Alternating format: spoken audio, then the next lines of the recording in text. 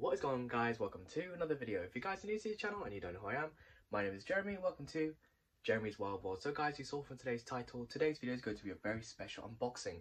Now this unboxing is going to be consisting of some isopods that I have been on the search for for a very, very long time. And this being, of course, the well-known and well-loved Cubaris rubber duckies. Now, I want to give a big shout out to my friend Jack for helping me find a seller here in the UK um, so I'll be showing you guys the unboxing as well as showing off the isopods and the enclosure that they're going to be temporarily housed in. And yeah, that's pretty much it for the intro.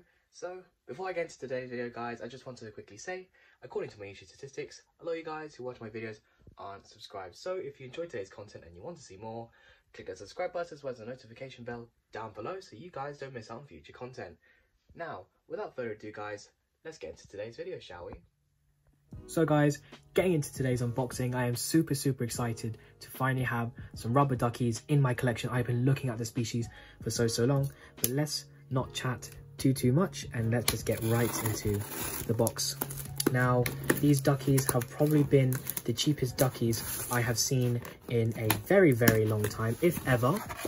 I got seven of these guys for 50 pounds and I won't be saying the seller's name today simply because I don't know if he wants to be known or not. So I won't be saying that today. But let's see if we can see any here. Oh my god oh my god. Oh my god. Look guys look. There's an amber one. Look at that. Wow that's an amber ducky right there. You can tell it's an amber ducky because on the back it's orange and not brown. But oh my god guys. Getting into here. Oh, I need to open this like as soon as possible. So, so excited. So I already saw one. Let's see if we can find any more. Oh, oh my God, guys. Look at this beautiful isopod. Oh my goodness. Guys, I am completely lost for words. Like the camera isn't focusing in. There we go. But guys, Look at these things. Oh my goodness. Oh, oh wow, look, there's more running down here. Oh my god, duckies everywhere. Oh my goodness, guys. I, I'm so sorry if I keep repeating myself, but honestly, I have not been this excited in such, such a long time. Oh my god, rubber duckies look at these. Oh, look at them all running down here. Here's a bigger one. And these came in such a good size as well. Let me see if I can just put this one onto my hand just here. And wait for him to uncurl maybe. Oh. Just, oh, look at him. Or her. Don't know if it, this is a male or female specifically. But I just want it to uncurl so you can see it walking around and stuff.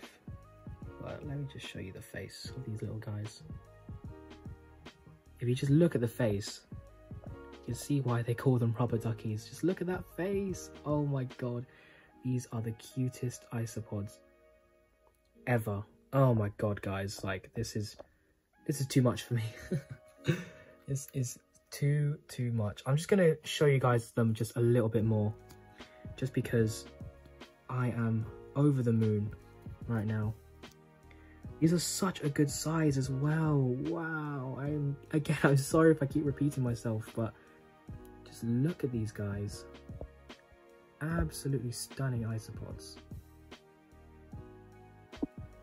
But yeah, guys, let's stop talking about how good they look and let's get them rehoused. So guys, the enclosure that these beautiful, beautiful rubber ducky isopods are going into is this food tub right here. As you can see, uh, simply just drilled with some holes at the top. Now the reason why I haven't done cross ventilation for these guys is because they don't need a lot of uh, ventilation. They do prefer a more humid environment and the substrate is a mix of cocoa fiber with topsoil mostly topsoil and some moss on the back. And yes, they are missing their limestone. I was not expecting to get these guys, so limestone is on the way, but for now as a supplement, I have put a nice piece of cuttlebone in there for them. And this really nice piece of bark that's quite uh, hollow underneath and a bark piece underneath just to keep it up.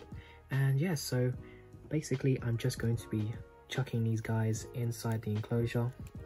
But just one more look for you guys before I put them in just because absolutely stunning isopods. Just look at these guys, they are amazing. But yeah, so they'll be going into this enclosure and hopefully I will be getting some little babies from them soon. Just checking to see if there's no babies left in here. But yeah, so you can see them just running on the top here. Absolutely stunning isopods.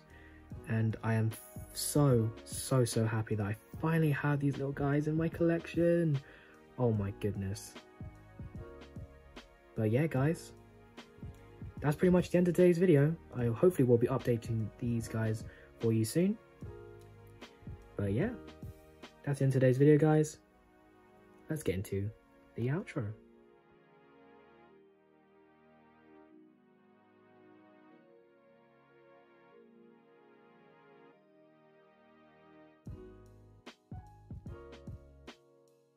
So guys, that's the end of today's video. I hope you guys enjoyed seeing the unboxing and rehousing of my brand new Cubaris rubber duckies. Now, again, thank you Jack for helping me find these isopods for such a good deal. I really, really do appreciate it. And if you guys feel like it, click the link down in the description below to Jack's Facebook page. It's an isopod and millipede group, so you guys feel like joining it and you're from the UK, feel free to do so by clicking the link down below. I also wanted to mention something before I end today's video, guys.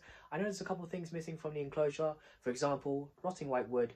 Since recording the unboxing, I have gone out and collected some rotting wood, so I will be adding that into the enclosure. As well as some limestone, I will be in the process of purchasing some limestone because I know Cubaris rubber duckies do like their limestone, but for now, the cuttlefish will do as a calcium source. So that's the end of today's video, guys. I hope you guys enjoyed it. If you did, I'd really appreciate if you would click the subscribe button as well as the notification bell down below so you guys don't miss out on future content. I would also really, really appreciate if you guys would click the link down in the description below to my Instagram page, Jerimie's Wild World underscore. I post pictures and videos of the inverts and animals that I keep when I don't upload on YouTube. So guys, that's all for me today. Leave a like, leave a comment, and I'll see you guys next time. Bye bye.